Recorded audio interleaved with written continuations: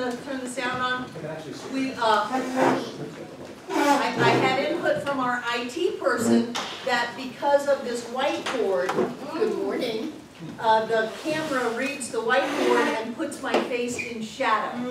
So, presto changeo, here we have little mini stage lights in here to brighten Barbara up.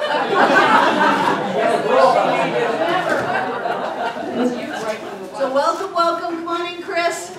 We always begin everything with a spiritual mind treatment, so take a breath.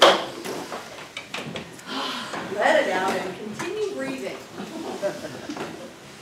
And what I know is that there is a power and a presence that is God itself speaking itself into form as heavens and earth and universe layers, time and space, and all of life. I know that that is our true nature. It is the true essence of who we are. And this day we come together to stand spiritually straight and tall and claim that divine life that is ours right here and right now. A life of absolute perfect health, abundant prosperity, overflowing joy, and wonderful, wonderful success. I know that this is why we have come to earth, that this is the life that we live right here and right now. We speak it into form. We know it in every way. And how great is that? Gratitude, gratitude, gratitude for everything, for every moment, for all that we are and all that we get to share. As together we say, And so it is. Ah, I have to get on my sunglasses.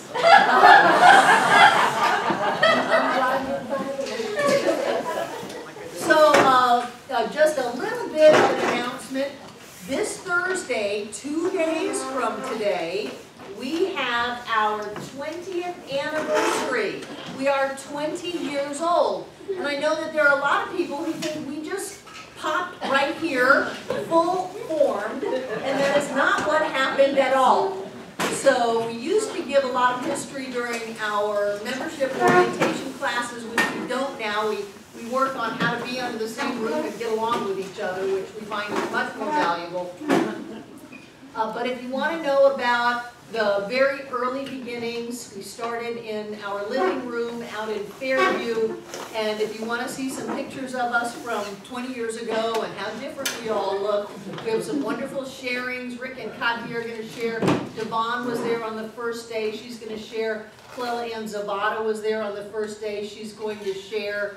Uh, John Gustafson built this place. And we just have a lot of pictures. We're going to have giveaways and games and a bit of hoopla. So it's not like we're coming into a Sunday celebration, we're going to come into a party. So uh, Thursday night at 7, and my son threatens to bring my grandsons, and I said, if you do, I will give them machine gun bubble blowers and let them run around unencumbered. So just a little sense of, of how it's going to be. Come as you are, come after work, we're gonna have a little cake afterwards and then go home. So it's not gonna be a late night, but it will be a time of really looking at where we've come from and who we are. Because this center has touched the lives of thousands, thousands and thousands and thousands of people physically. And what, what we've done out on the, the airwaves and through television shows and uh, the internet goes far beyond that. So come have a little sense that 20 years is a big deal and uh, we'll play and have a good time. So, my dear ones, how many of you were not here last week? Wow, welcome, welcome, welcome. Wonderful. Those of you who were here last week, you had some homework to do. And your homework was copy the following and mentally repeat it every night. And you had God is health, life, love, truth, substance, intelligence. God is all. God is omnipresence, omnipotence, and omniscience. I am the thought of God, the idea of the divine mind. In Him I live, move, and have my being. I am spiritual, harmonious, fearless, and free. I am governed by the law of God and the everlasting good, and I am not subject to the law of sin, sickness, and death. I know the truth, and the truth makes me free from evil in every form and from all material bondage now and forever. God works through me to will and do whatever ought to be done by me. I am happy, I am holy, I am loving, I am wise, I and the Father are one. Amen. How did that work for you? Really good. You did it in the mornings? Yes. You did it in the evenings? Yeah. Good, good. So remember that in this class, we are, you know, stepping over that line that we so adamantly hold in the rest of our classes, which is we don't move into the world of duality, we don't move into good and bad, right and wrong, uh, that kind of thing. But in this class, to hold true to the original um, tenets of mental science and to stay in alignment with what Annie Rix Militz is bringing forth in these primary lessons of healing, we go ahead and we go there. So you actually said bondage, sin, sickness, death. How'd you feel about that? Weird me. It was weird, wasn't it? Yes. And yet there's some part of me that says, I am not subject to the law of sin. You got nothing on me. I am not subject. And I, like- I like that phrase last week, that sin or, or or sickness has no presence and no power in my life. So if you're going to use that kind of an idea, of a dualistic idea, you gotta trump it. You gotta tromp it into the ground. And then what she does is she brings you out to the other side. And Ernest Holmes always says, if you're going to use a denial, it's important to follow it by an affirmation so that you end up with this experience of wholeness and oneness and connectedness and all of that. So in the very end, I am happy, I am holy, I am loving, I am wise, I and the Father are one. And Amen really translates to and so it is. Yeah, yeah. So is there anything that anyone wants to share about that homework from lesson one? Yes, I- Laura. I had to add a word and I had to change a word. What'd you add? I, in the last part, I also add I'm, I'm prosperous. And Good. then, um, I could not do I am the Father are one. Okay, what'd you change it to? I am the Spirit. Okay, I am the Spirit or one. That's great. This was written over a hundred years ago. So that was just the language. And we had a long talk, and I'm going over this again for those of you who were not here last week. We had a long talk about how we were all just gonna take a deep breath and let it be okay to follow her train of thought, which is old-time metaphysics, and it has a lot of duality in it. But the purpose of the duality is to take you into a position of empowerment and oneness. So we're going to move into that and just let it be okay, but like Laura said, if you need to change a word here and there to keep the spirit of the teaching alive without gagging you, then that's okay for you to do. Lisa? You kind of referred to this, what I loved is that it brought the rebel in me. It, it really, it brought the rebel in me out again. Right? The one that was there as a child. I'm gonna get you, oh no you're not. Yeah. And remembered as a child, I saw the contradiction. Right. And squirmed. Right, right. Anybody else on the homework lesson one? Carolani? I had something just last night where something came up, an illusion came up for me, and I was, uh, and I came, and it was time for bed, and I read it, and I swear, it's like, it was magic. It was like, really, it went away. It just, I, now, I'm not saying I didn't take it back later, however, I did get rid of it. But what was interesting was, it went, I could feel it, I mean, I'm getting more tuned in to the feeling, and I knew that it was not a non-issue for me. It had gone to the nothingness. Right. You know, if I want to take it back, I did. But I knew that I, what I could do. And that, and speaking those words put me in that place. Yes, It puts you in that place, because the purpose of words is to put you in a place, to have you have an experience that doesn't have anything to do with words. You know, and I've, I've been watching myself, I use denials a lot more than I thought. There were two or three times last week when I had the idea that it would be very easy for me to get sick. And what I said is, oh no, I don't have time for this, this is not happening. And away I would run, only to remember maybe a couple of days later, oh yeah, I think I've got this headache sinus thing. Oh no, you don't. You are not getting sick, you don't have time to get sick, this is not happening. And off I would run. And I would love to tell you that I finished it with this wonderful affirmation and treatment, but I didn't. I did it on the run. And denials work. Denials work, but I would recommend that you don't stay there and just do denials. A lot of old-time metaphysics, Christian science, that kind of thing, is, is mostly denials. And in my experience, you gotta work yourself out of that and bring yourself back into alignment with the oneness. But if you read Ernest Holmes, he used a lot of denials. One of my favorite is, sickness is neither person, place, nor thing, which means it doesn't exist.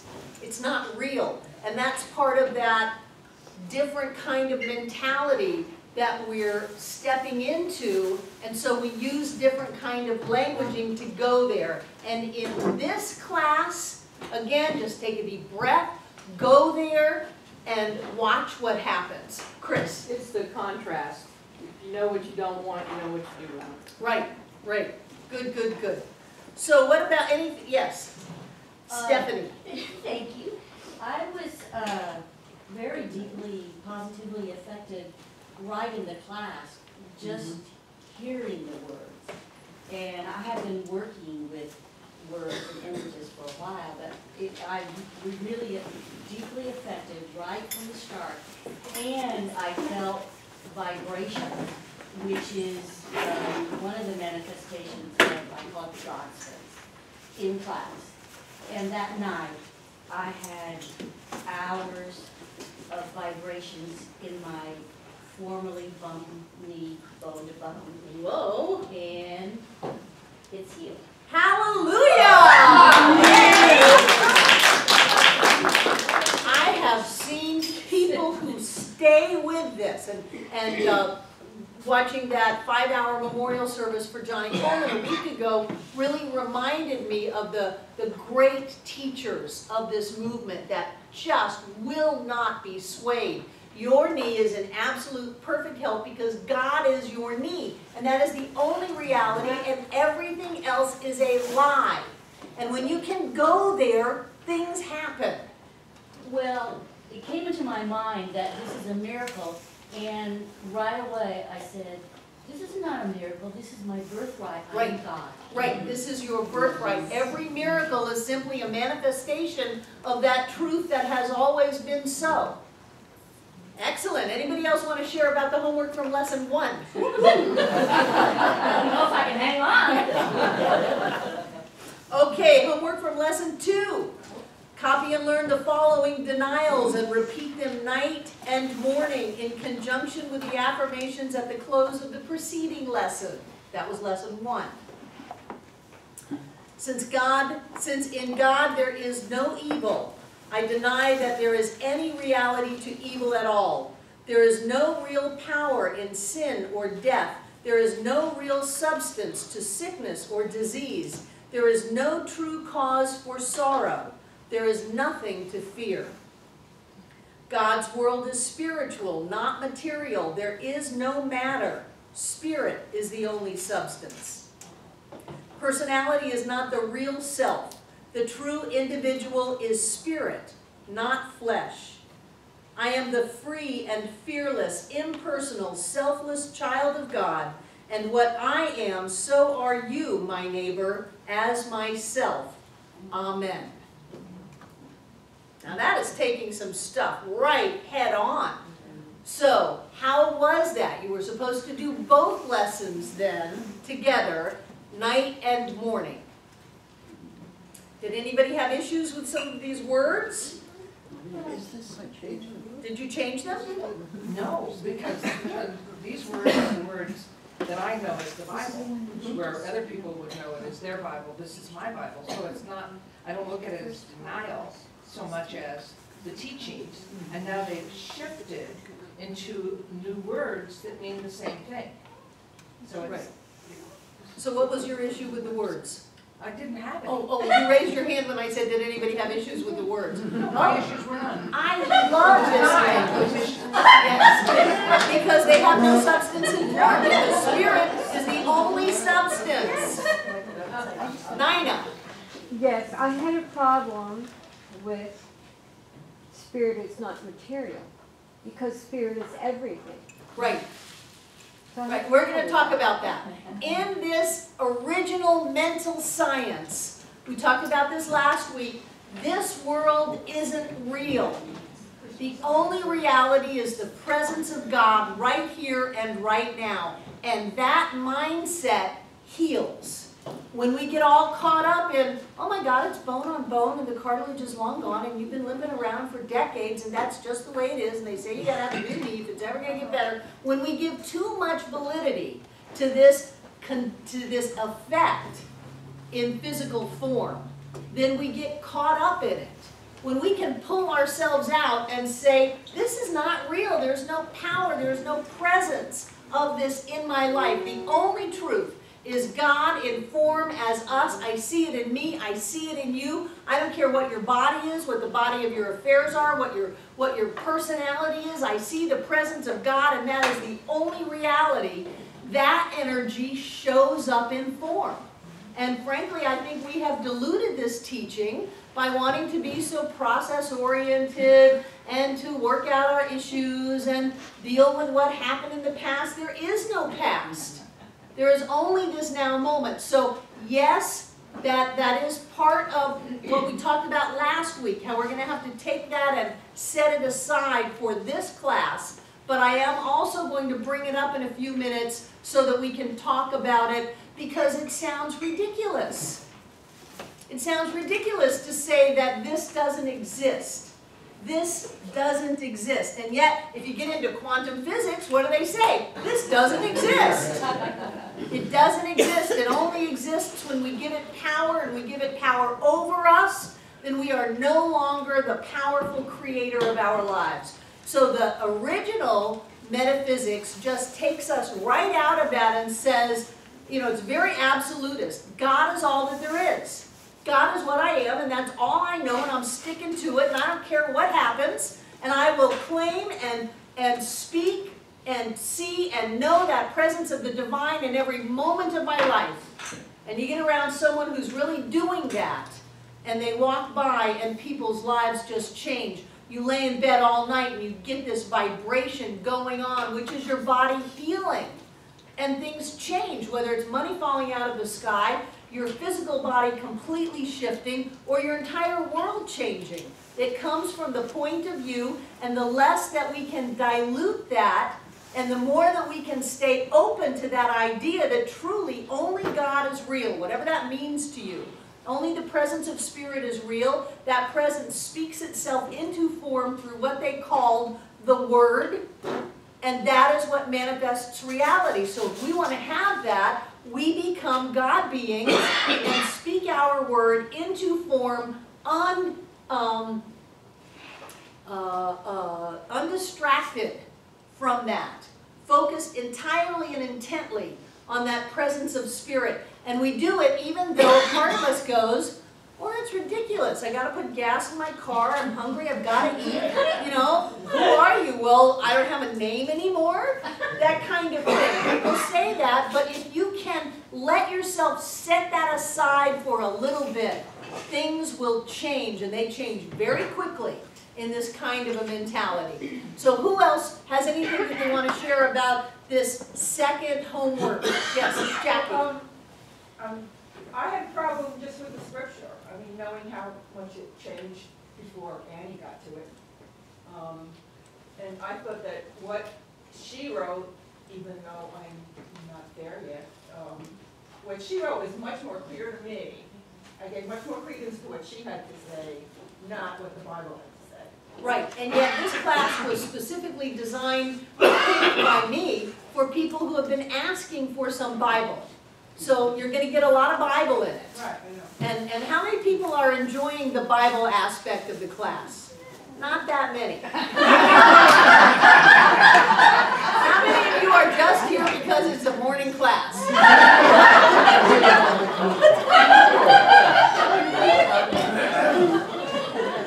because I was going to teach a metaphysical interpretation of the Bible class after this, but if you guys are not into the Bible, maybe we should rethink that. Thanks, Selena. so on uh, today's homework, you don't have these kinds of affirmations to do. This is a 12-lesson program that is specifically designed to have you heal, whether it's a physical healing, whether it's a an emotional healing, a financial healing, whatever it is, it is 12 lessons to get you to the point where your life is healed. And so whatever it is, bring it up in your consciousness, what you want that healing energy to be working on as you go through this class. Remember when she wrote this, there were no antibiotics, there were no uh, laser surgeries, no microscopic stuff. Uh, the, the medical profession was what we would call barbaric, and people died like crazy. And so you get to where you've got, you know, tuberculosis or something like that, okay, let's try God. You know, let's try something. Well, you can't think about that, that disease that you've been diagnosed with. You can't give it any energy. You can't think about anything negative. You can't think about anything that you feel bad about or sorry, sorrow uh, over. You can't be miserable. You can't think fear thoughts or negativity or judgment. Or you can die. And so people would go, okay, okay, I will do that. And then they will have, they would have these miraculous healings. Because if you change cause, effect must change. It must change.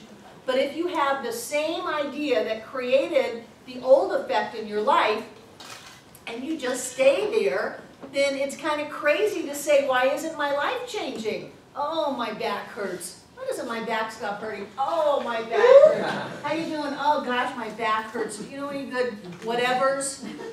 of course my back is going to continue to hurt because I keep holding that energy. But if I refuse to see the condition, if I refuse to talk about it, refuse to think about it, then my back is going to stop hurting.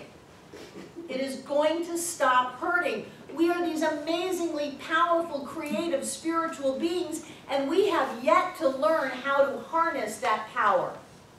So part of this is learning how to harness that power. So just take a deep breath. If you've got some issues with things, set it aside until the end of class and see if things have not amazingly shifted in your life. And you'll be the one who goes around and stops in Ingles when the electricity goes off and it says, there is no loss of power in the mind because God is all power. And I claim that power right here at, oh, it came on, okay.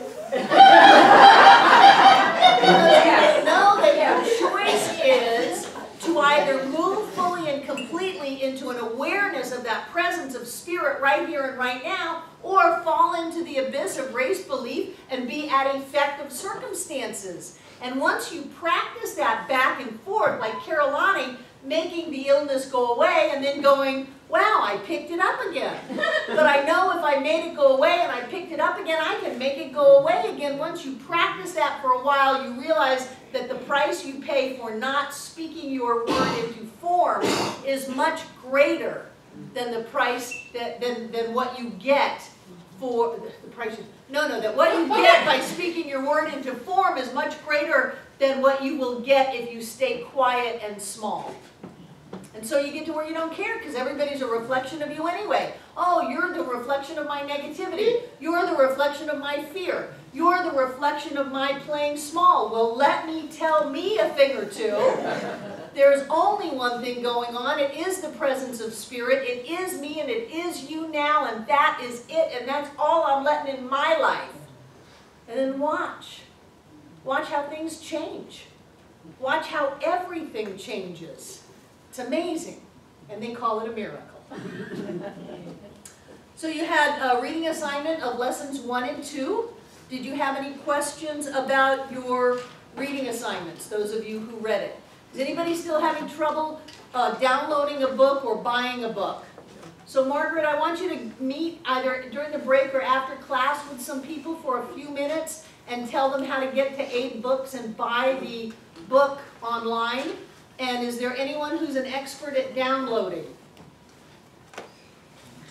I'm an expert at downloading, Tamara? Great. And Judith? Wonderful. Tamara, you wanna download your book? That's what you're saying. So Judith, if you want help downloading the book, see Judith. If you want help buying the book on the internet, because it's not, it's not at Barnes and Noble. I mean, this is a very highly speci- specified book. So see Margaret if you wanna figure out who's got the rare books that'll sell it to you. And Judith, if you wanna figure out how to download it, because I would like you reading. Bob, Uh, when you say download, you talking about Kindle or is it someplace where you study? it's on our website. Oh, okay. www.csl.asheville, cslasheville.org. Free books. It, no, no, I'm sorry, it says free downloads. And then of all the many downloads you can have of classes and Sunday celebrations and workshops and Ernest Holmes, uh, radio shows, all of that, you pick books.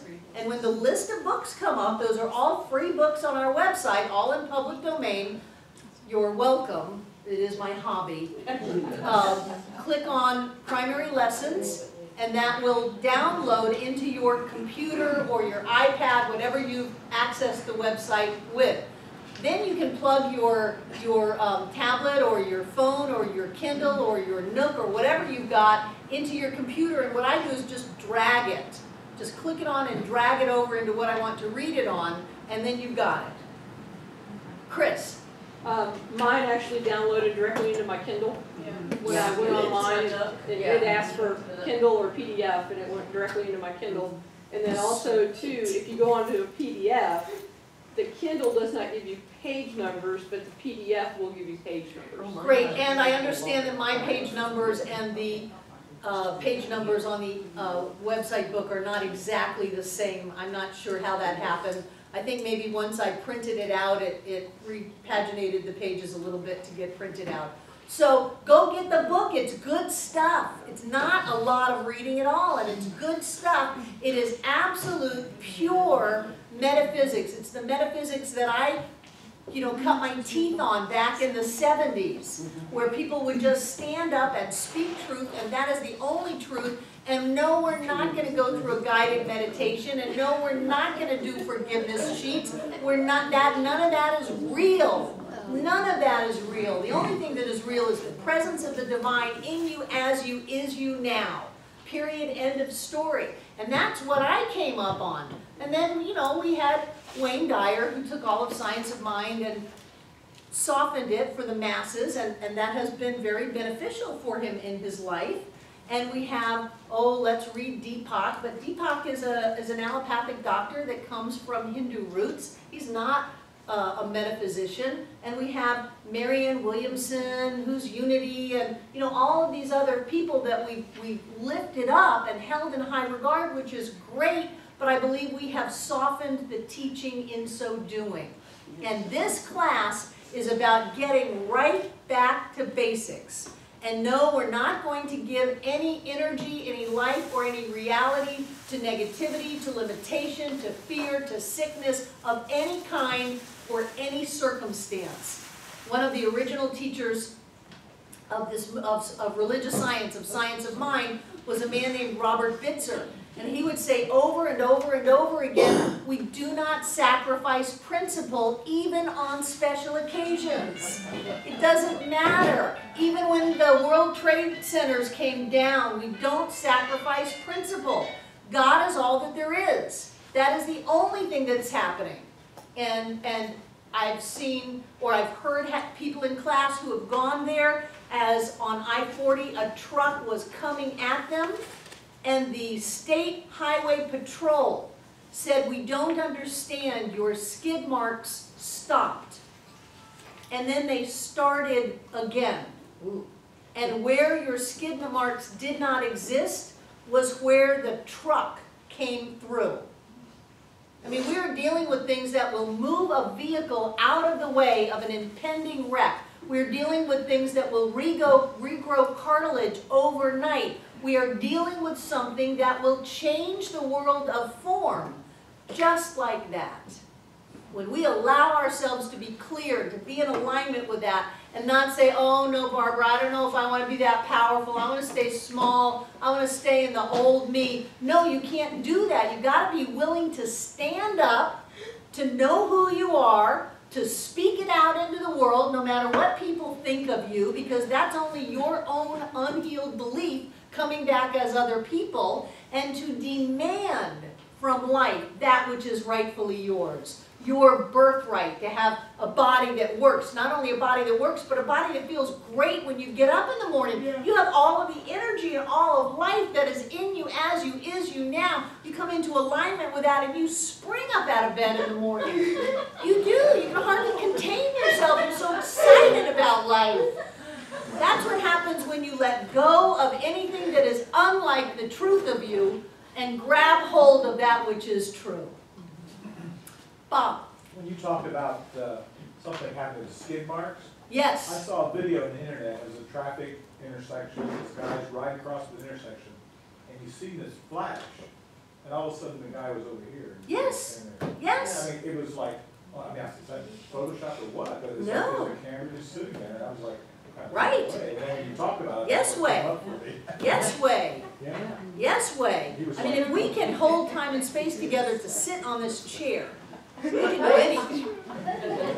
We can do anything, but we've been hypnotized into this idea that says, this is the way that it is, and I want you to know that is not the way that it is, unless it is that you are an amazing spiritual being playing on the earth plane and planet Earth, and you can come in and out of form however you want, wherever you want, whenever you want. You can bring things into your experience, you can let things go, and you can live the divine God life that you were always meant to live.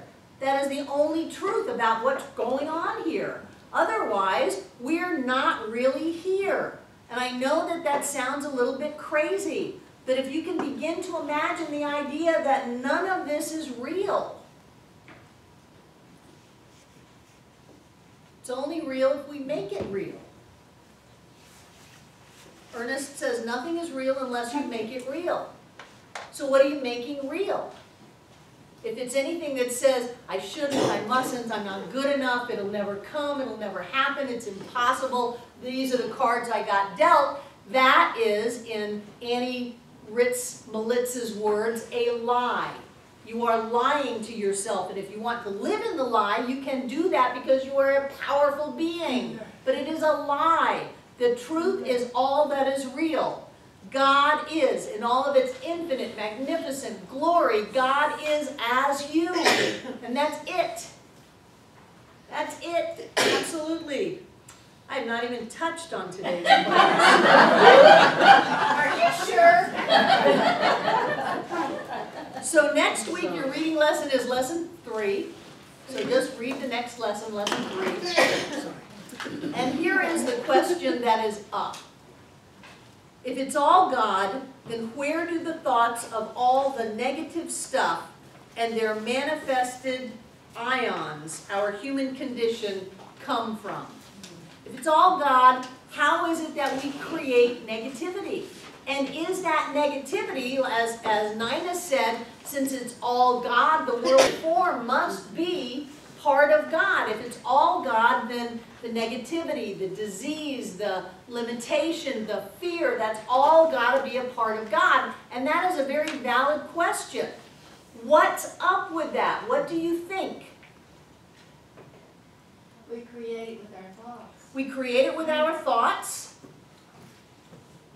Rick, It's all part of the physical experience of the spiritual person. it's all part of the physical experience of the spiritual person, but it is not your true nature. And I'll grant you, it's a little schizophrenic here, and I'm asking a lot from you, but I guarantee you the rewards will be great. If you stand, and, and this is all physical, but if you stand in the way of the light and focus on the shadow, then the shadow is real to you. But the shadow has no life of itself. But if all we have ever known is the shadow, and I come and say, there is no shadow, you're standing in the way of your own light. There is only light. Oh no, Barbara, there's a shadow. I know it. That's all I've ever known. So I'll give you that it can appear to be very real. When you're in pain, when you're afraid, when things are not going the way you thought they were going to go, that can have a lot of quote-unquote reality to it. But remember last week we talked extensively about the difference between the absolute, that which God is, pure, perfect, love, light, peace, joy, wisdom, harmony, happiness, abundance, health, wholeness. That is the absolute reality of the truth of the divine. And then there is the relative reality, which is our lives. And when all we see is the relative reality, we think that all of this is the only reality, the only thing going on, that there's no way to change it. I can't put my hand through this table. I can't walk on fire. There's no way to change that. And then that's the life that we live because that's our belief that that's the truth of it, but it doesn't hold water in the light of spirit.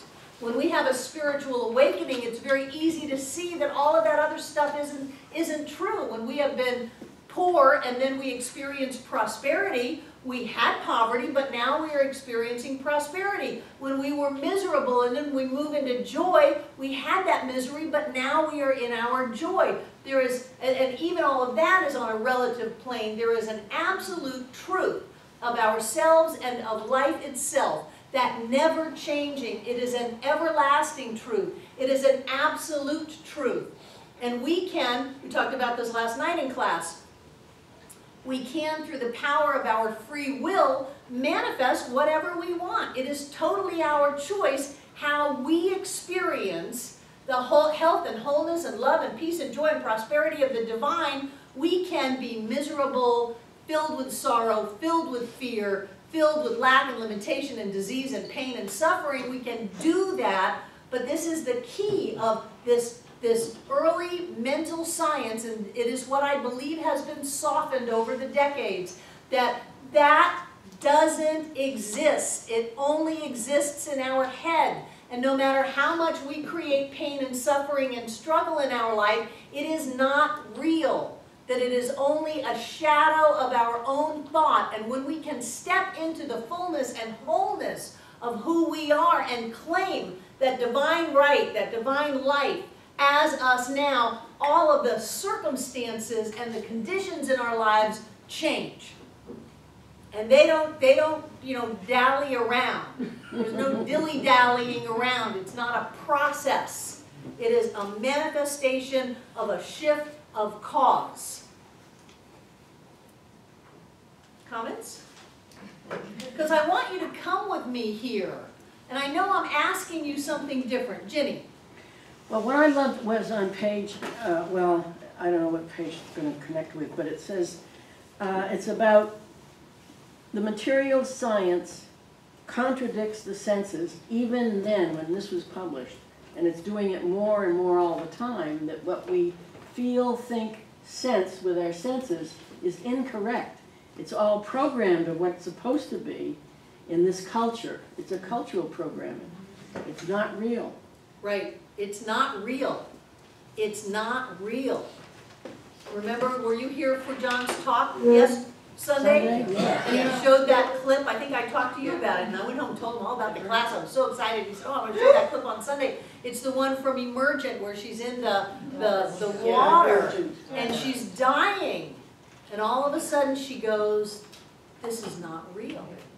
And she just taps at her experience three times, and then the whole thing explodes out.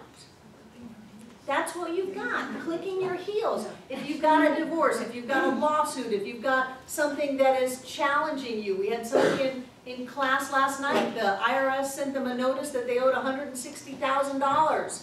And we were saying it's not real. It's just flat out not real. It- it- I don't know what it is, but it's not real. She went to one accountant and boom, it wasn't real. It was a mistake and it's gone. All of that happened in a week. But if you go and you panic and you say, oh my God, look at my letter from the IRS. I owe them $160,000. It's terrible. It's going to put me out on the streets. Then that's what we can create. But it's not real because the only essence that is real is the presence of the divine. And that is what's going on right now. David and then Katya.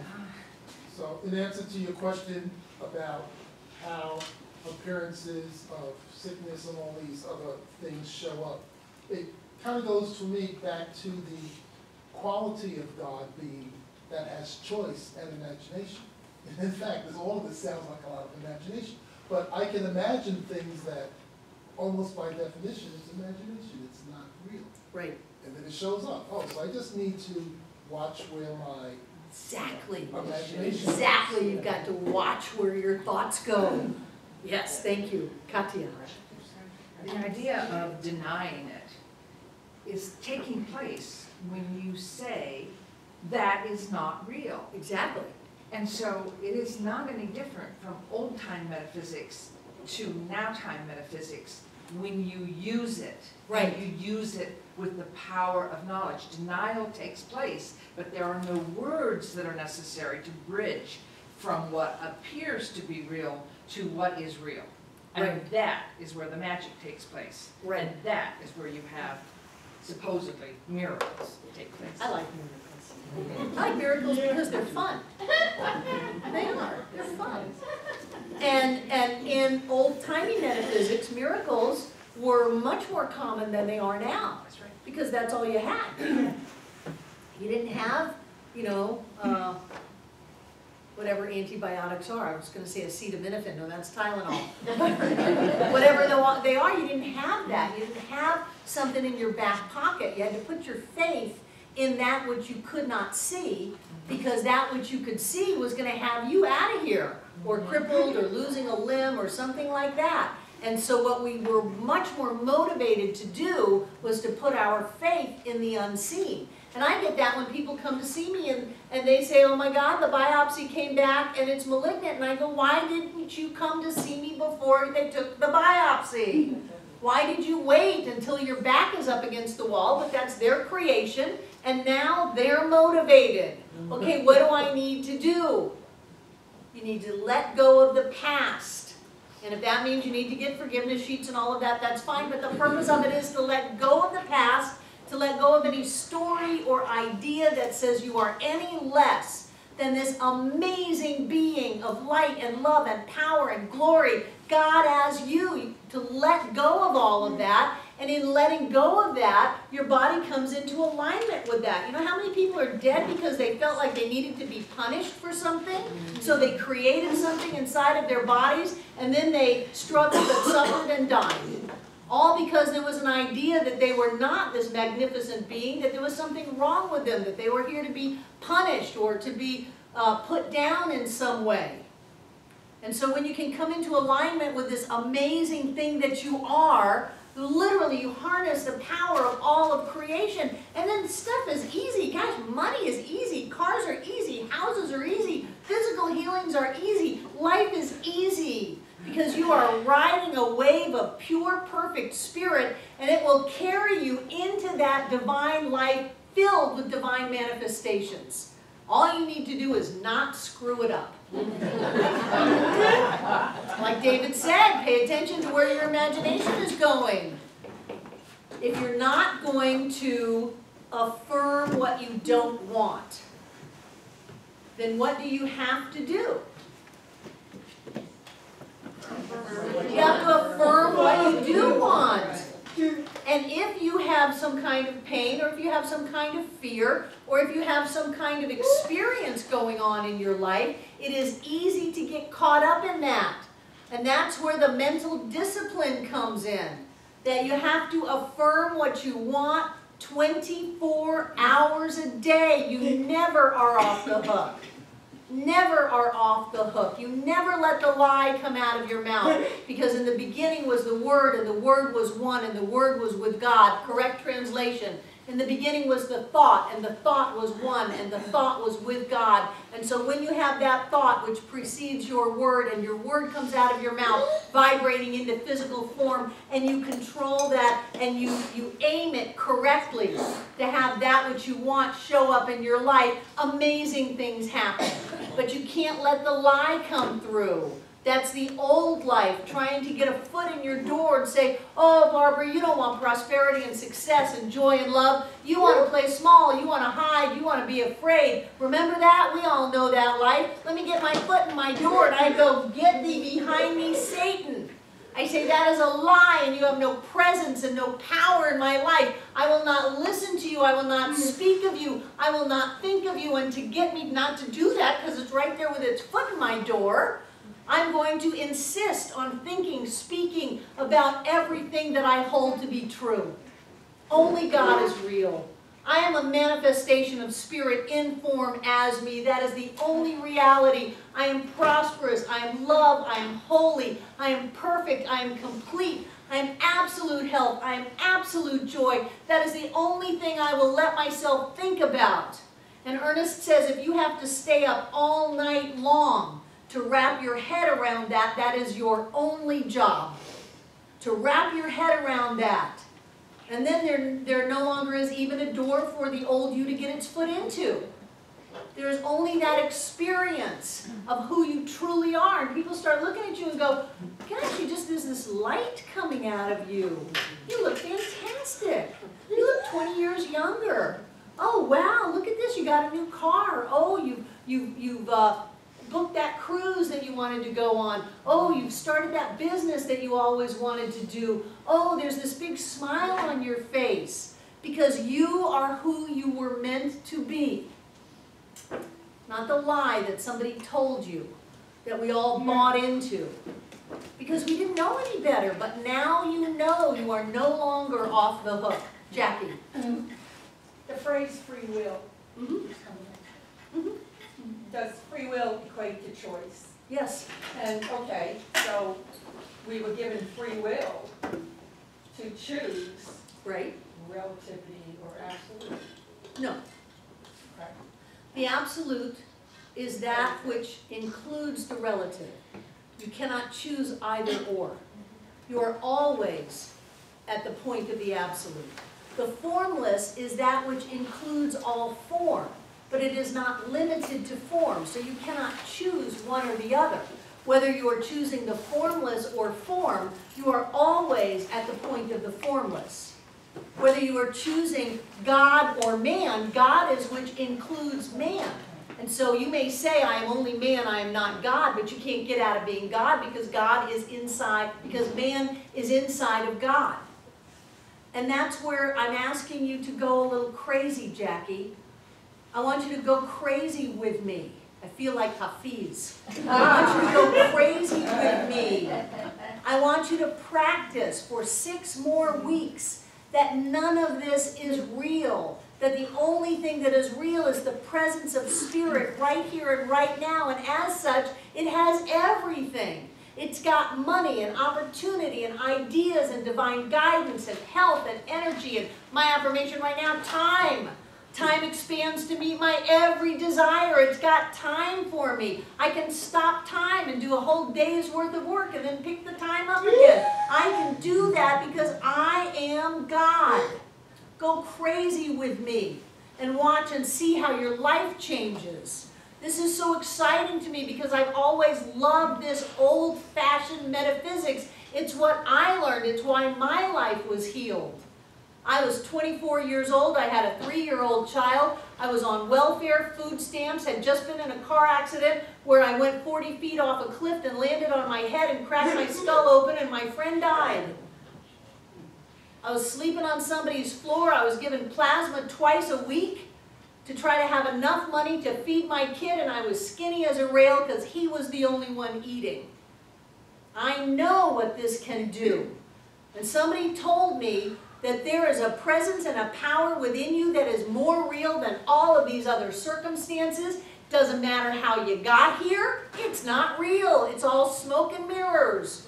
The only thing that is real is what you focus on in this moment, and you will command the power of all creation to come into form at the point of your life, and that will show up. Go crazy with me. Mm. Let people think you're nuts. Your car starts chugging out of gas, that's not real. I always have more than enough to make it to the gas station. Your card comes back, it's not working, that's not real. My card always works. Just put it in again. Don't worry about it. It'll work. Something happens where one contract closes, it doesn't matter. Contracts seek you out. And then the phone rings. We had somebody here last night who said that they took a job that they knew they shouldn't take because they felt pressured to go to work. They realized it wasn't for them, had a heart-to-heart -heart with their husband and family and said, we are going to all be eating beans from now on, but I will not be where I don't fit. Two days later, she got offered the job of a lifetime. her heart's desire. Because when we look at something and say, no, you are not for me, you're not my fit, you're not my genius, you're not where I'm supposed to be, you're not what I'm supposed to be doing, we open up to go, yes, you are my perfect and right fit, you are my genius, you are what I'm supposed to be doing, and it doesn't matter if everybody says you're crazy and that's impossible and it'll never happen, it's yours. And it will find you like you know, Scotty having the tractor beam on. And just bring it right into your life as long as you exercise dominion over your thought and you do not allow yourself to get caught up in the past, that which is limited, that which is small, that which is fear-based, but you demand and insist from yourself that this that you know to be true, or you would have left with whoever walked out a few minutes ago, you would have said, these people are nuts, I'm out of here. The fact that you have stayed, there's a part of you that knows this is true. You know it's true, no matter what's going on. You know there's something greater in you. You know that your life is supposed to be more than whatever it has been in the past. It's supposed to be an ongoing evolution of consciousness, which includes happiness and joy. You know that's the truth of you. So when you demand that of yourself and you not cave in and you not give up, then that has to show up. And it shows up as instantaneous healings, miraculous regressions, uh, lottery wins. You know, I love the story of Tom Wright. He didn't even buy the ticket. or, or he did pay for it, but he didn't ask for it. He walked into the pharmacy. The woman had already printed it out, and she said, this is for you. And he said, okay. And he went and paid for it, and that Saturday night he won the North Carolina Powerball. He came in, it was in the middle of a prosperity class. Were you in that class? Yes. Came in with it wrapped up in black garbage bags, this big check. We're going, what is this? It was the last night of class, and he had raised his hand the week before that he hadn't demonstrated any unexpected income. And John got in his face and said, you are a licensed practitioner of religious science. You are a practitioner in this center. You will demonstrate unexpected income. Do I have an agreement with you that you are demonstrating unexpected income and you're going to have it in your hand when you come back to class next week? And he said yes. And he walked into a, a, a, a drugstore and they handed him the winning ticket. What do you think is such a big issue in your life? Whatever it is, it's got that health and wholeness and it has already been brought back into alignment with the spiritual reality of who you are. All you need to do is wake up to it. Chris. Started watching Wizard of Oz when I was five years old, and I didn't know anything about metaphysics, of course. And throughout my entire life, um, I have had this movie come forward to me. And it is, you know, all of the characters already had, just as we have the absolute, they already had those things, the heart, the courage, you know, all of that stuff. And then they, you know, they go, they persevere and they take action and they know that this is what they want. And in the end of this movie, they all had it. It was already there. And they didn't have the physical brain, but they knew that they were intelligent. You know, so that's, it was just, just incredible. And I saw this on the big screen this past weekend. And it all just came falling into place for me. That a movie at the age of five has brought me where I am right now. Exactly, exactly, exactly. Because truth speaks to the masses. And those things that carry on, that lift us to wonderful life, the Wizard of Oz, Star Wars, Yoda, Yoda, the little guru Yoda. They, they live on because there is that within us that knows what is truth. Stephanie. Well, I, I've read, uh, four chapters, and every single one of the chapters has something that's really calls to me strongly and narrows it down, and then I put that into my practice. So, uh, each chapter is, is fabulous. It is, it is. Yeah. This is a great book. I read, started reading this book and I just got so excited. And I think I start, I found it six months ago. And I knew I wanted to do a class, but I knew I, I probably couldn't work it in until winter. And then I thought, well, let's just do a winter class. And it's got so much Bible that you can't fight the Bible in it. You might as well embrace it and bill it. This is based on scripture. So all the people who are interested in how Bible and metaphysics work hand in hand, come on and we'll look at that. But she is just exciting to me. And I don't know if I told you, but I have, uh, I have new thought in my blood, Margaret and I. Our grandmother, Irene Floyd, was a sopranoist for Mary Baker Eddy in the First Church of Christ Science in Boston. My father was raised in Christian Science. He hated it. As soon as he could, he got out of it, and then he and my mother had an ongoing battle to see who was sicker until he died, and she won, and then she didn't have to be sick anymore. It was fascinating. Ninety-two or ninety-three, I forget what.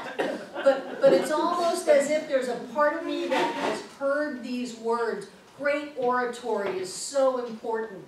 Words that can lift you and inspire you and wake you up are so great. And I agree with you that she's got it in these books. Any other questions? Rick?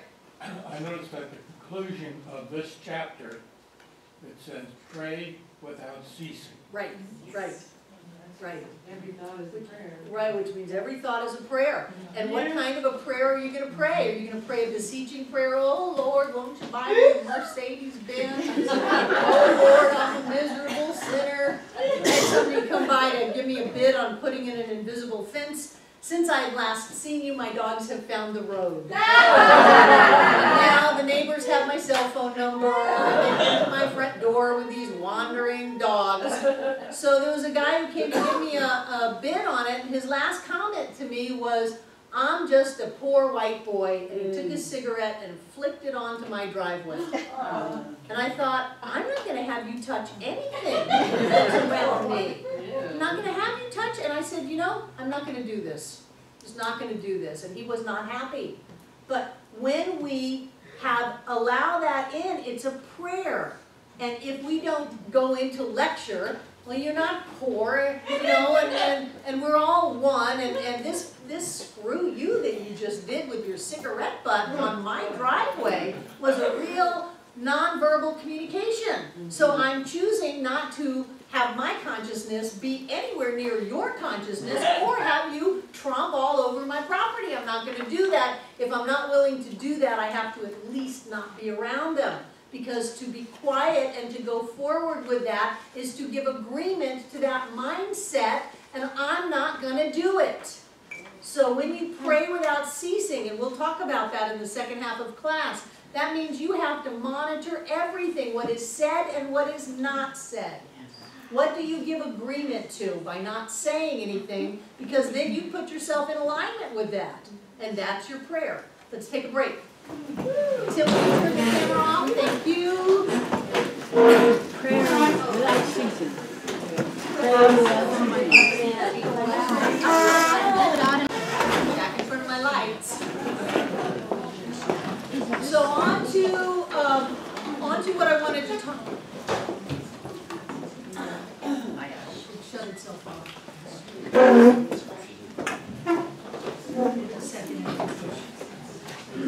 So on to, uh, what I wanted to talk about, which is the power of our word. When we understand, and, and remember, the, the word word is being used to include but not to be limited to the actual words that we use in language.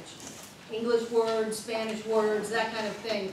It is the power of the word, that which is spoken forth into form, which also translates to thought. We don't ever say anything, even if someone says that was thoughtless, we don't ever say anything that does not first have a thought preceding it. We don't ever have a feeling or an emotion without first having a thought precede it. So what we want to look at is the power of this idea of thought and word, because by the time it's coming out of your mouth, it's pretty anchored in your consciousness. You thought it, you formulated the sentence, you got your grammar and your syntax right, and you're speaking it, sometimes with great emotional charge to it. So when you realize that you are commanding all of this amazing creative power with the power of your word, we start to be more mindful of where we go with that. And this is not, uh, this is not new. He, she's going back to the idea that we are made in the image and likeness of God. She quotes Solomon, as he thinketh in his heart, so is he. It's interesting how many quotes that Jesus, that we have of Jesus, Jesus was quoting someone else. And then in the Dhammapada, it says, all that we are is a result of what we have thought. It is founded on our thoughts. It is made up of our thoughts. If a man speaks or acts with an evil thought, pain follows him as the wheel follows the ox that draws the cart. If a man speaks or acts with a pure thought, happiness follows him like a shadow that never leaves him. So when was this? 12,000 years before Jesus? Saying all that we are is a result of our thoughts. And when they're looking at, at, at if, we, if we speak, remember evil is just live backwards. Sin is an old archer's term that means to miss the mark. We don't want to get into this giant universal power of the devil and evil and hell and all of that. That's a crock. But there is this idea that if we are not in alignment with our true selves, then we are going to experience the cause, the, the effect of that cause. And so if we have suffering and struggling and pain following us like a cart behind an ox, we're pulling our way through life. Haven't you ever felt like you're dragging a ball and chain with you? Like you're weighted down with the things that are attached to you? They're attached to you because you spoke them into being. So that's when it is important to look at what are we doing with our words, and a good place is just to start listening to what's coming out of your mouth. Listen. If you have a good friend and they listen to what's coming out of your mouth, you may want to give them permission to bring that up. Bring that up. Is that really what you wanted to say? Is that really the best of you? Is that really where you want to go? Is that really what you want to live out? Not with a lot of judgment, not with a lot of I got you, but hello. Sometimes just hello is a good, good response. Hello? Really? You want to go there? Start listening to what's coming out of your mouth, understanding that that was preceded by a thought. And then start listening to your thoughts. Think about what you're thinking about. If you have a headache, it's not because you're thinking about what you're thinking about, it's because you're not thinking about what you're thinking about. You're thinking, I have a headache. I can't think about what I'm thinking about, I get a headache. No, no, no, no, that's what's going to free you from that. Think about what you're thinking about. Start noticing where you're coming from. Check out your feelings. If you go from feeling joy-filled, today's a happy day, today's the best day ever, to feeling like everything is overwhelming and everything is too much and, and, and the wind's been knocked out of you, backtrack that. What happened to you? How did you go from being this amazing spiritual being to being nothing but a lump of clay? How did you do that? What did you do to yourself? What did you think inside of your own head? What did you give life to that was not real? And then take it back. I know that I thought just because my boss called me and told me not to bother coming in today that that, that was real and that meant that I was going to lose my home and not be able to eat and all these checks were going to bounce that I had written based on the money I was going to get and, and I know that I thought that but that is not real. What is real? What is the truth?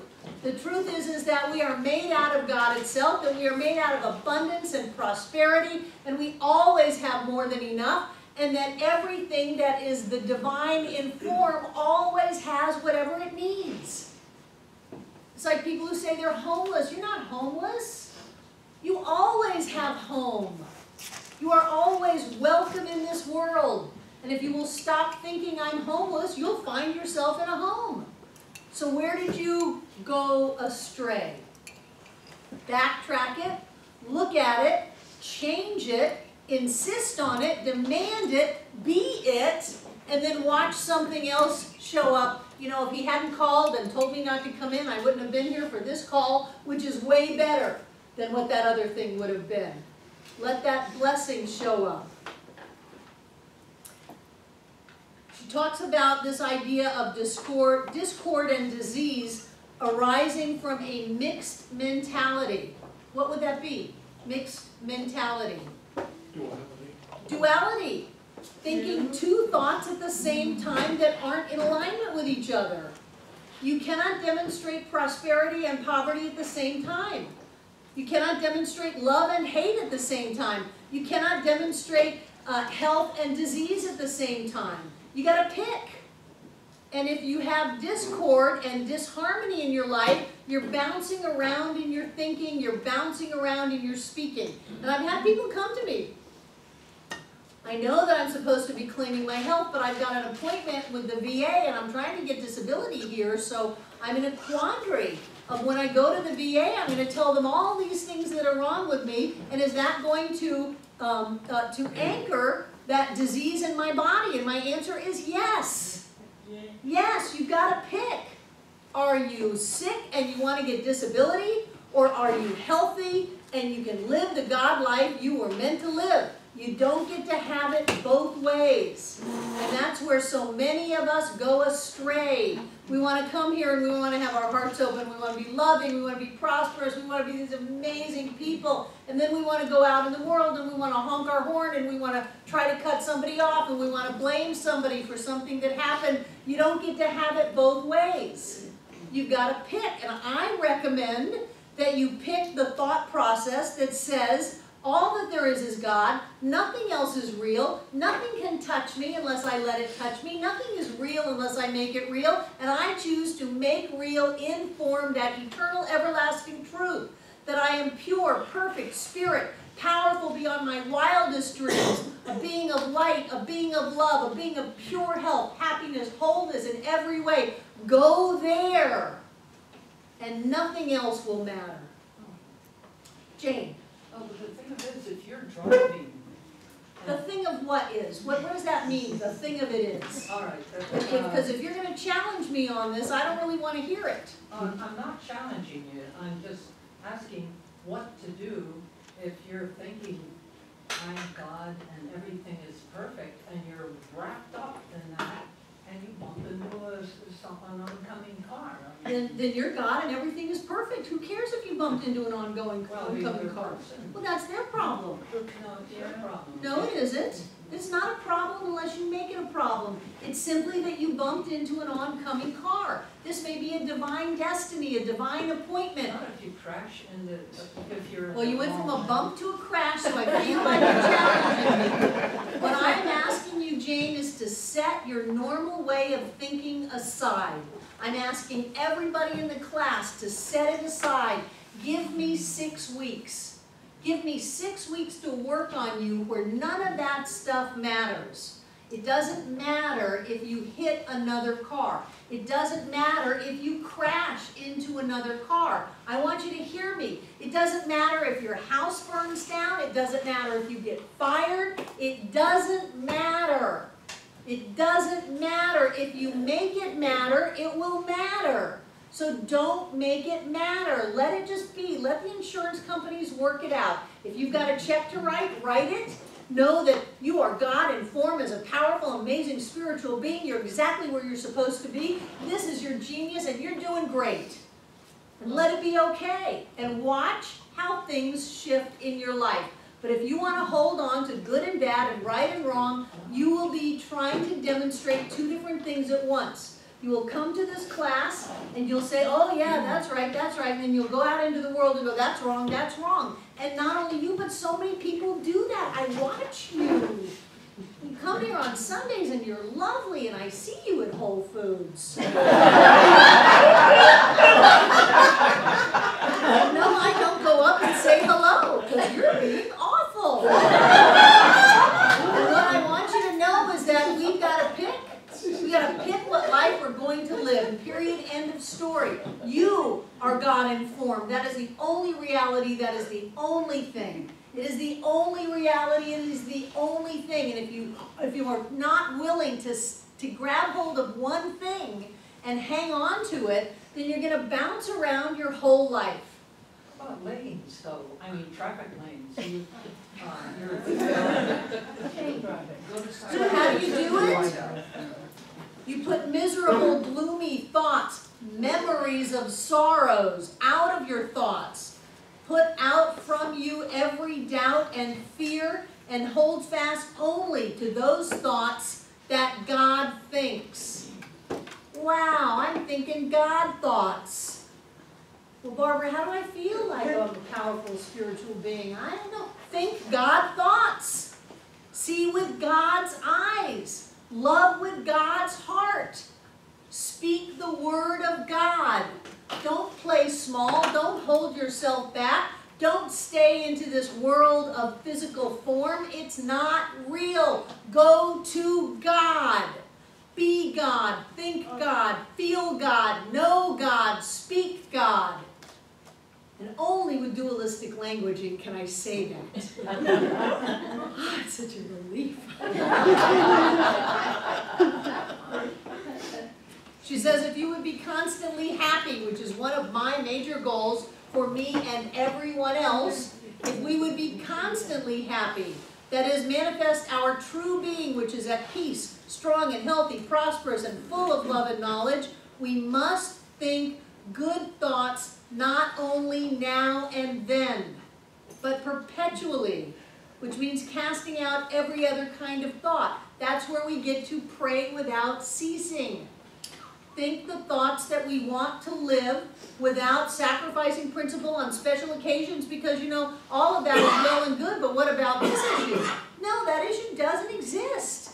It only exists if you want it to exist. You can hold it into form. It takes a lot of energy, but there is nothing to keep it into form once you pull your energy away. Therefore, it's not real.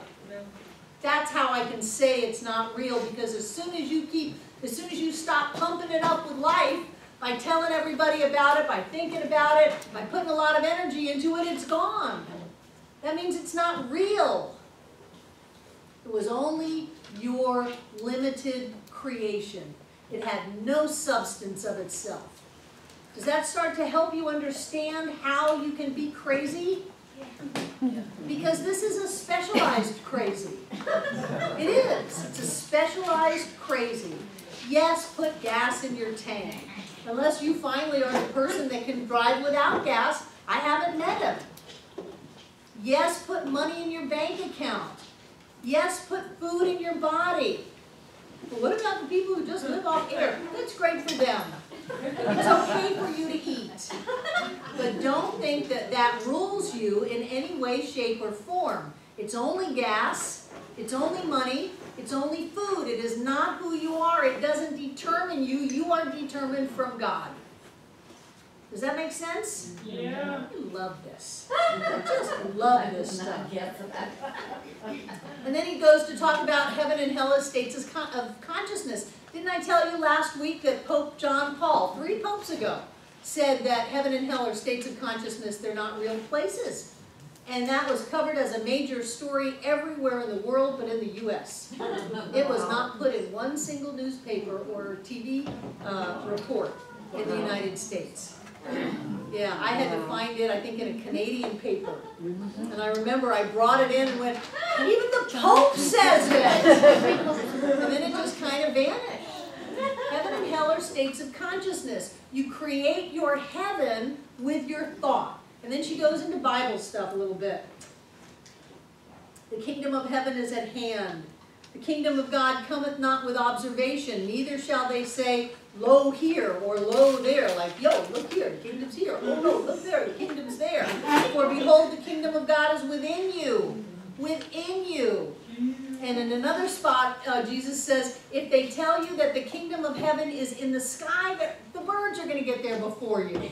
If they tell you the kingdom of heaven is in the sea, the fish are going to get there before you. It's not in the sky, it's not in the sea, it's not here and it's not there, it is within you. And so conveniently, people just blow that one off to talk about how women have to obey men and all of this other Paulianity. It's not Christianity, it's Paulianity. So if you are going to create a state of consciousness of heaven, what must you do? Thank Be happy, think like God. For many, many people, you've got to move out of hell. If you're gonna be in a state of consciousness of heaven, you've gotta get out of this hell consciousness that you may have put yourself in ever so briefly. I know people are going, I didn't put myself in. But that dirty rat and Rackenfratchet took that away from me. That's hell. Twenty years ago, they did this to me. That's hell. I'm not gonna be a member of this center. I was once wounded in spiritual community and I will never let myself be that again. That's hell. I'll never love another one again. Oh, the divorce was awful. I had everything stripped from me. I gave the best years of my life.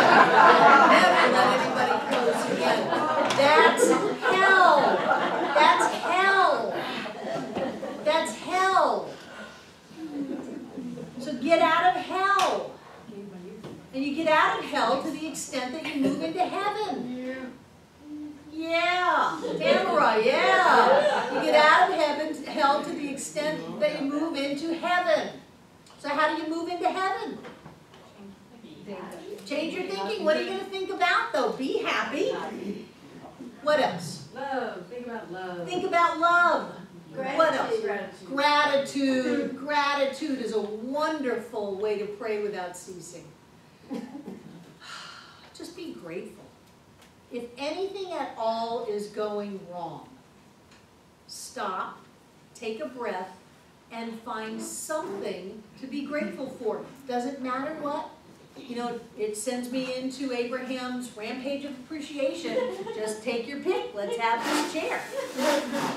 I love plastic. Do you know that this chair looks and feels like material, but it's really plastic? So that when you spill your coffee on it or you rub your chocolate frosting into it, we can just pour water right on it and it washes the stains and the, the food right out of it. I love plastic. What about tubular aluminum? Isn't that great? They used to make chairs out of tubular steel, and God bless steel, that's fantastic. But aluminum is so much lighter, and whenever we're picking them up, it's so nice to have it be a nice light chair. And just look at mechanics of this. It folds and it opens. It's got little pads on the bottom so it doesn't scratch the floor. Is this not the greatest thing since sliced bread? My problems just went away. I moved out of hell and I moved into heaven. And you don't need anything. You want to be grateful for something? Be grateful for your thumb. That opposable thumb, that is amazing. We are the ones with the opposable thumbs, and we can do so much because we have this little thumb. It's a great appendage. And you can just go off on your thumb. You can go off on your wrist, you know? Yeah. You can just go off on yourself. And you have moved out of hell and you've moved into heaven and you've learned how to pray without ceasing through a very simple prayer of gratitude. You don't have to get all holy. You don't have to get all spiritual. You don't have to be grateful for world peace. Be grateful for a chair. Be grateful for your thumb. Be grateful for heat. Be grateful for water. It doesn't matter what you're grateful for, just be grateful. Yes, Jane? How about uh, being grateful for the other drivers on the road, that they are safe? And that you are safe. Be grateful for your safety. Absolutely. That's great. That's great. I'm just trying to resolve. You, there, I- and I, I invite you to transcend it and not resolve it. One of my favorite quotes from Ernest Holmes is, and it's a quote actually from Sri Aurobindo in The Life Divine. And he says, transcendence transmutes, it does not rectify. You do not have to stay in the realm of the relative and try to rectify a problem or an issue. It doesn't exist.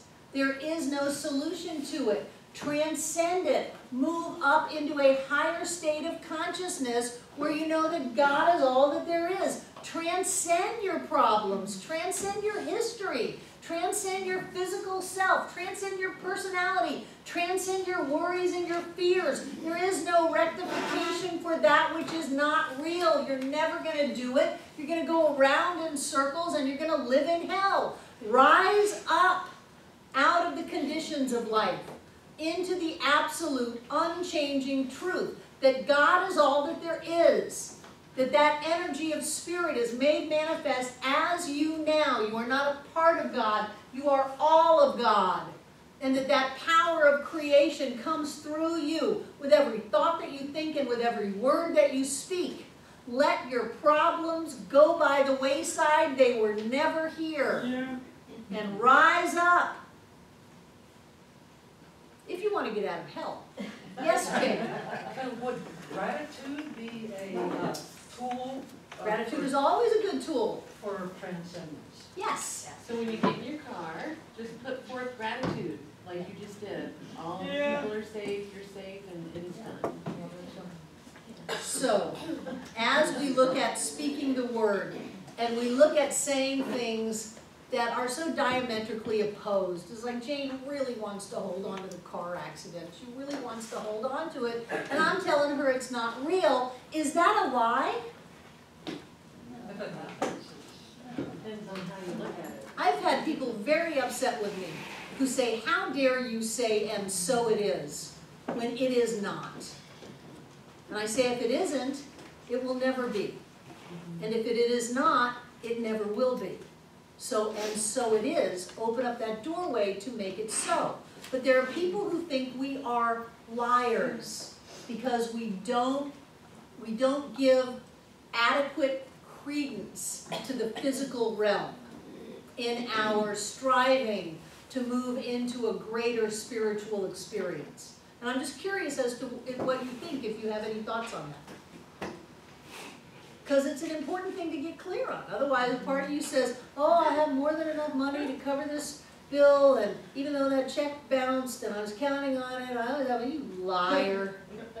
Check, see if your pants are on fire, because you're a liar, liar. So, so as a creative being, my concern is about what's coming into form, not what's in form. Oh, yeah, what's in form is old That's- news. that's old- that's Yeah, old news. Old news, That's old news already. So as a creative being, I'm concerned about what's coming into form. exactly. Somebody gave a service a couple of weeks ago, all about that being in East and all that, but it's still true.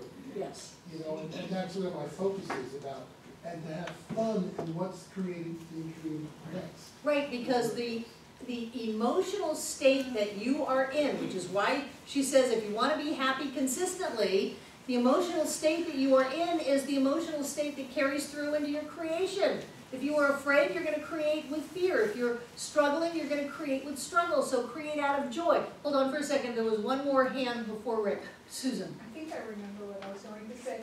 Uh, one one of the first lessons in metaphysics came many years ago with Eric Butterworth, and he gave an example of looking through the hole in the fence at a construction site and seeing other people saw nothing.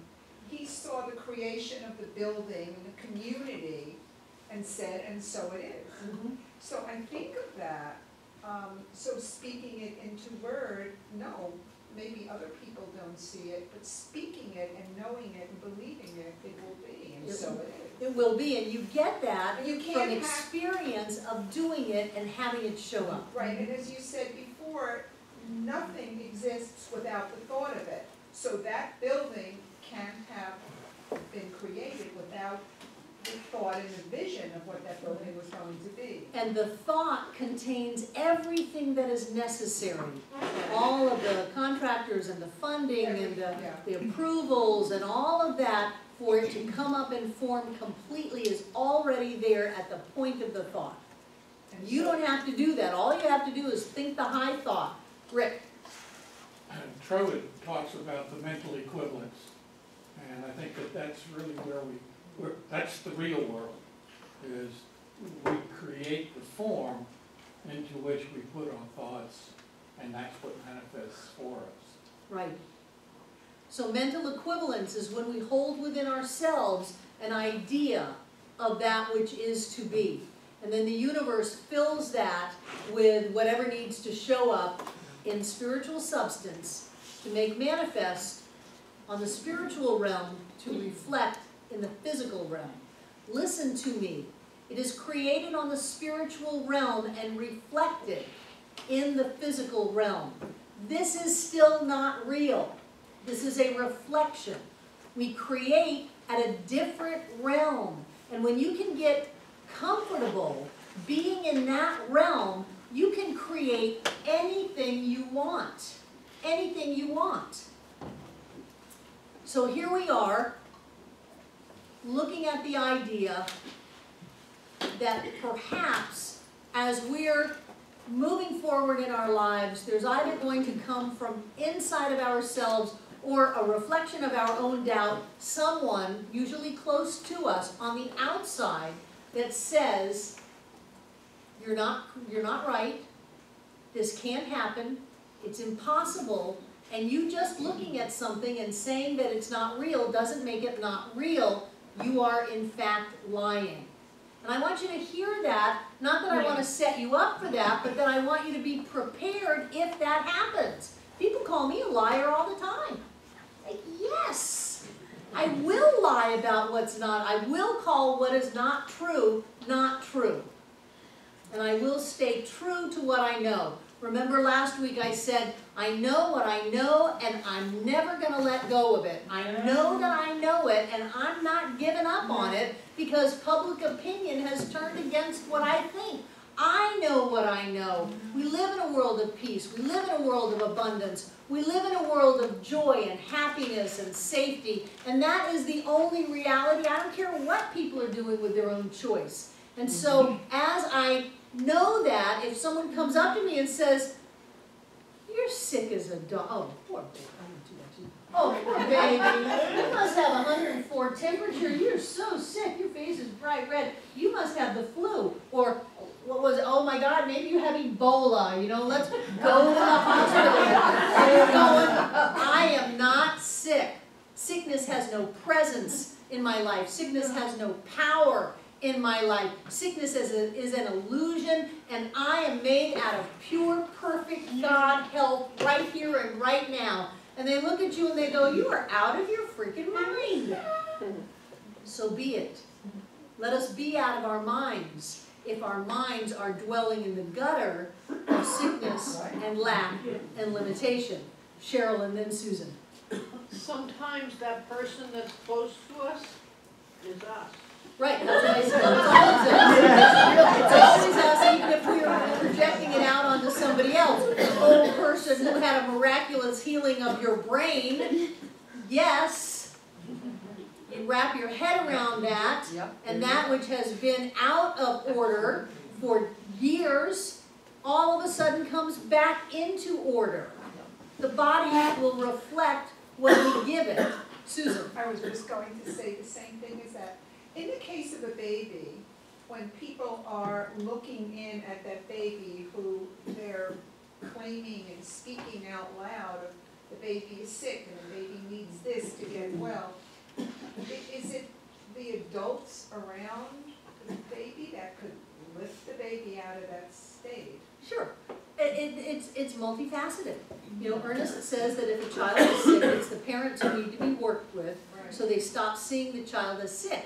But you're looking at the baby then as some helpless victim, which babies are not. They're powerful, creative, spiritual beings, God informed and as them, just in a very young body. Mm-hmm. But they are absolutely creating their reality.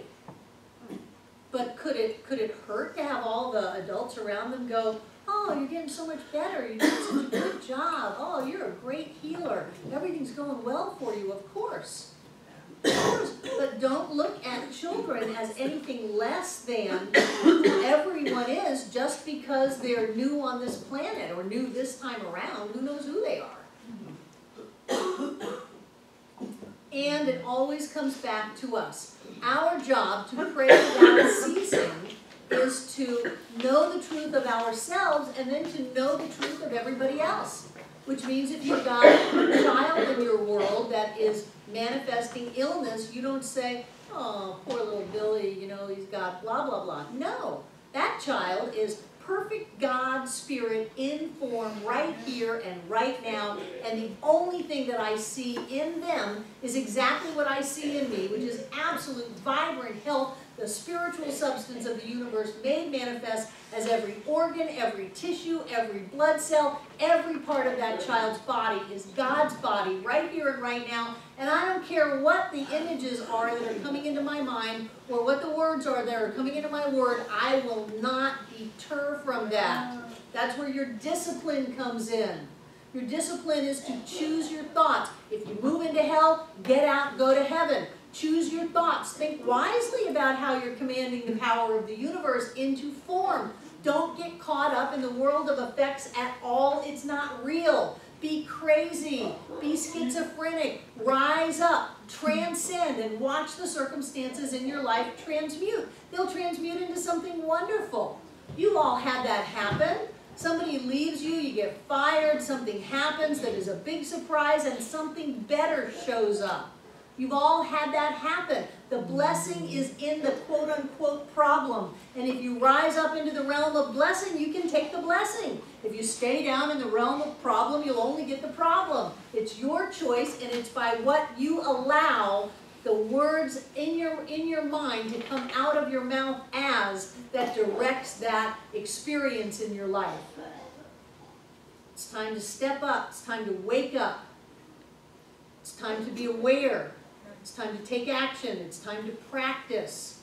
And when you do that and stop fighting for your own limitations and trying to hide and be powerful at the same time, which is never going to work, when you do that, you will have things that people will call miracles in your life. And on top of it all, you get to be happy. You get to be healthy. You get to be joyous. You get to have a lot of money. You get to do what you want to do and go where you want to go and be who you want to be. Those are all the perks of realizing that divine presence that you are. So there is no off time, even if your football team loses.